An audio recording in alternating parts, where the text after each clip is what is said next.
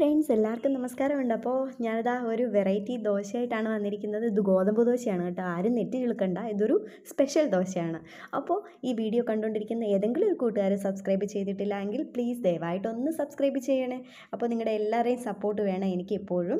അപ്പോൾ നമുക്ക് ദോശ ഉണ്ടാക്കുന്നത് എങ്ങനെയാണെന്ന് കാണാം.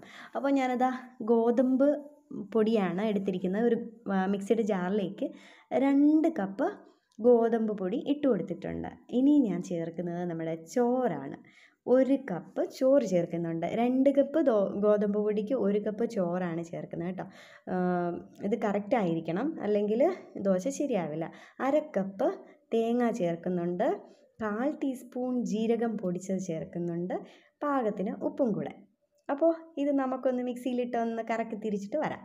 അയ്യോ അതിനു മുമ്പ് ഞാൻ വെള്ളം ഒഴിച്ചില്ല കേട്ടോ. അപ്പോൾ ഞാൻ ഇതിൽ അര കപ്പ് വെള്ളമാണ് ചേർത്ത് കൊടുക്കുന്നത്. അപ്പോൾ നമുക്ക് വെള്ളം കൂടെ ചേർത്ത് കൊടുത്തിട്ട് ജസ്റ്റ് ഒന്ന് ഇളക്കി എടുക്കണം. അല്ലെങ്കിൽ കറക്റ്റ് ആവത്തില്ല. ഒന്ന് ജസ്റ്റ് ഒന്ന് ഇളക്കി എടുത്തിട്ട് നമുക്ക് മിക്സിയിലിട്ട് നന്നായിട്ടൊന്ന് അരച്ചെടുക്കാം. സൂപ്പർ ദോശയാണ് കേട്ടോ. നല്ല അടിപൊളി ദോശയാണ്. അപ്പം ഇതേപോലെ തന്നെ എല്ലാവരും ചെയ്യണം. അപ്പോൾ ഇത് ഞാനൊന്ന് അരച്ചെടുത്തിട്ട് വരാം. അപ്പം നന്നായിട്ട് അരഞ്ഞോട്ടെ. അതിന് ശേഷം കാണിച്ചു തരാം.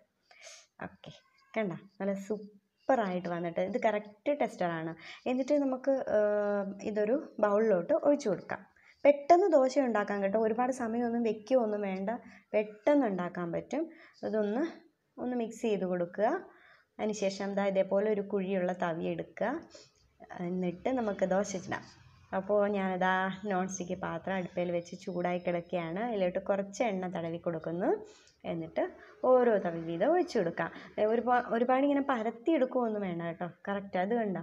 ബബിൾസ് ഒക്കെ വരുന്നതുണ്ടോ നല്ല സൂപ്പർ ദോശയാണ്.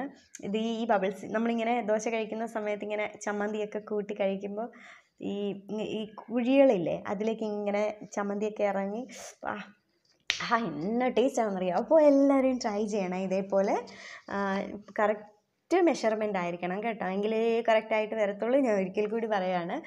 അപ്പോൾ ദാ ഒരു ദോശ ഇവിടെ റെഡി ആയിട്ടുണ്ട്. അപ്പോൾ ഞാൻ ബാക്കിയുള്ള ദോശയെല്ലാം ഇതേപോലെ ഒന്ന് ചുട്ടെടുത്ത് കാണിച്ചു തരാം